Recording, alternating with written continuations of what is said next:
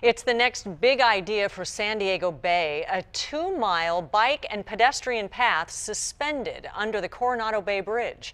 New at 6 o'clock, 10 News reporter Joe Little breaks down the challenges facing this elaborate idea. I'm standing right beneath the Coronado Bay Bridge in Barrio Logan. Now I want you to take a look behind me. Look at the archways underneath the bridge. Now imagine a giant tube hanging from those arches.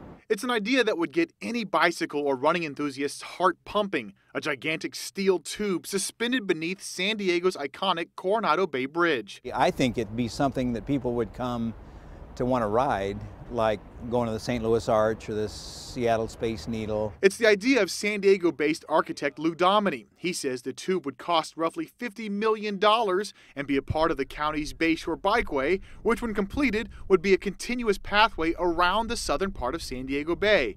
The bikeway is already 60% complete. The bridge tube would be a huge, elaborate addition. And you could run it or walk it or ride it. It'd be it's two miles, two miles long. It's kind of a an idea that I think we need to at least fully vet and take a look at and see if we can make it happen. County Supervisor Greg Cox even mentioned the idea during his State of the County address this week. Whether it goes anywhere or not, there's a lot of ans answers that have to be uh, provided to a lot of questions that people have. I like it.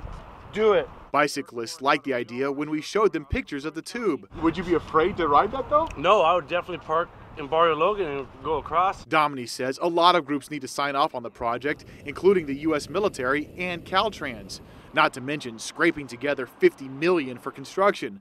But the architect is confident and hopes San Diegans will one day be able to pedal underneath their iconic bridge. Because you're 200 feet up in the air, and uh, it is spectacular. Beneath the Coronado Bay Bridge, Joe Little, 10 News.